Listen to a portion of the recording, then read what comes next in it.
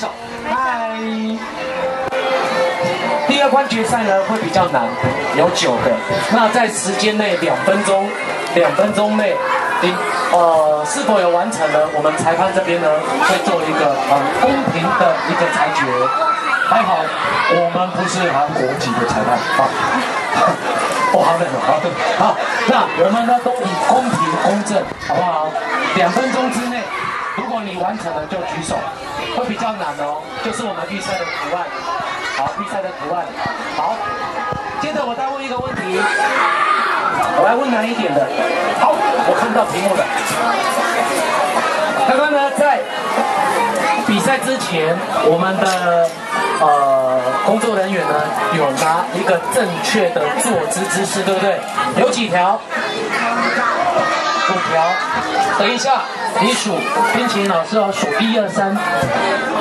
你举手，你只要说其中的一项，好不好？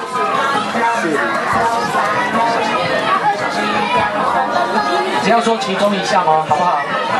对，现在宝宝宝宝可以，跟小孩说，我数一二三的时候，来，我们往后推一点点。对，后推一点点，谢谢。我数一二三，你只要说出正确的坐姿姿势，其中的一个要领，我们就送，好不好？一二三，手摸头。妹妹，你说。脚在哪一个部位？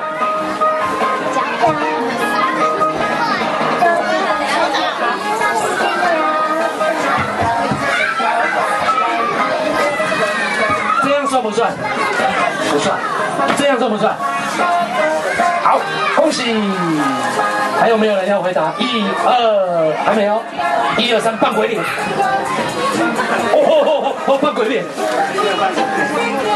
不可相靠靠。答对了。好，我再问最后一个问题，我们就跟乐乐拜拜，好不好？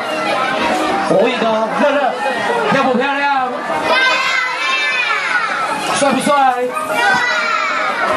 帅帅气又漂亮。他头顶戴了一本什么？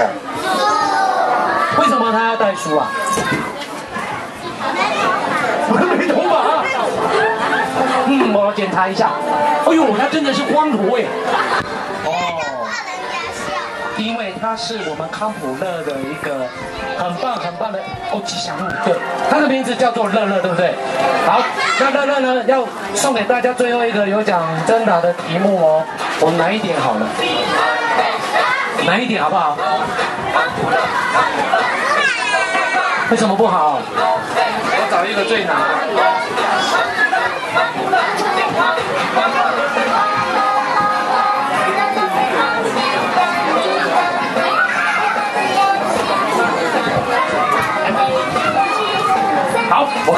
很难的题目了，请问大家哦。请问大家哦，我们今天呢有这么多报名的小选手来到这边，我们要给大家一个正确的什么观念？好，正确的什么观念？好，我数我数一二三的时候，正确的什么？好，好，我已经做提示了哈。我数一二三的时候要做什么呢？举双手。哈哈，厉害了！因为主持人还没数一二三。好，我数一二三哦。一二三，举双手，举一只脚。哇，超人哎！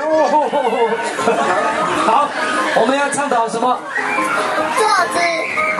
什么坐姿？弯腰驼背的吗？正确。正确的坐姿是这样子吗？不是，是我们刚刚说的几个要领，对不对？好。哦，你好聪明哦！你你领了几个礼物了？好。